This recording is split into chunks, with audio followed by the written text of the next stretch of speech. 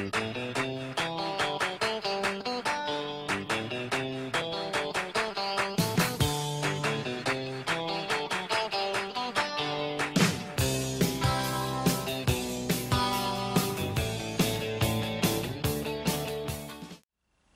Welcome to the Rundown. I'm TJ Hartnett, June 24th edition of the Futures League Rundown. There were some Friday night fireworks, literally and metaphorically, around the Futures League. Let's check it out to see what happened.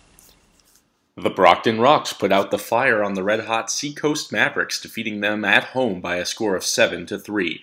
James Muse out of Memphis threw a gem, going 7 strong, allowing only 2 hits, no runs, while striking out 9 in the win. Ben Porter out of Columbia University went 3 for 4 with 4 RBI, including this 2 RBI single back in the fourth inning. Porter also had two stolen bases in the game. The Pittsfield Suns are officially tied for second place in the West after their victory over division rival Bristol 5 1. Jamin McCann out of East Tennessee State went seven innings, surrendering one run on four hits while striking out seven. The University of Maine Black Bear Colin Ridley had two hits, one RBI, and a pair of runs to contribute to the Suns' offensive show.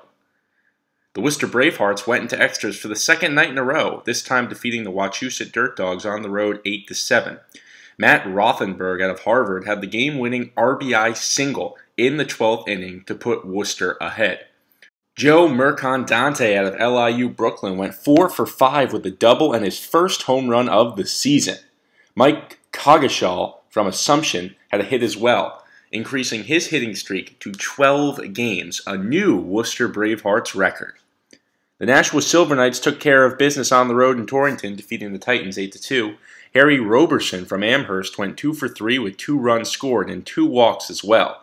Dante Baldelli, the Boston College Eagle, went 3 for 4, racking up 2 RBI and 2 runs scored, sparking the Nashua offense. The North Shore Navigators shut out the Martha's Vineyard Sharks 8 0 on Friday night behind a strong pitching performance from UMass Boston's Bobby Tramondosi, who went five innings, allowing zero runs on five hits with two Ks. Joey Pena out of St. Thomas Aquinas had one RBI on four hits and three runs scored, including two doubles. Now it's time for the Futures League Pitcher and Player of the Night, brought to you by On Deck Sports, the official sponsor of the Futures League.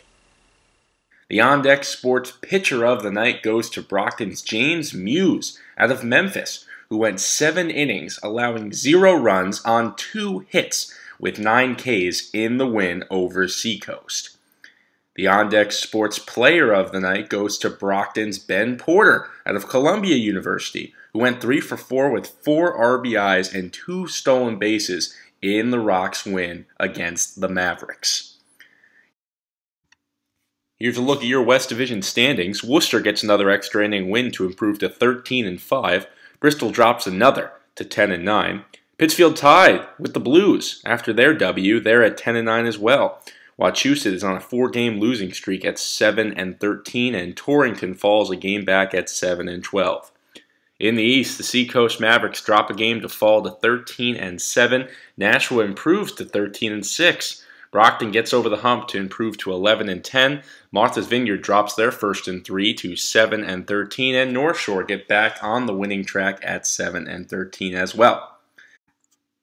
On deck for the Futures League on Saturday, the Navigators host the Mavericks out in Lynn at 6 p.m. for their Christmas in June game, in which the Navs will be wearing these special Christmas jerseys and having them auctioned off for charity after the game. Definitely go check that out. The Blues travel out to Wachusett to play the Dirt Dogs at 6.35. The Rocks will take the ferry to Martha's Vineyard to battle the Sharks at 7.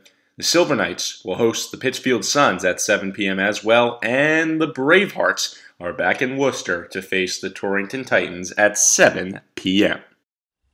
Thank you for joining us here on the Futures League Rundown. I'm TJ Hartnett. We'll see you on Saturday.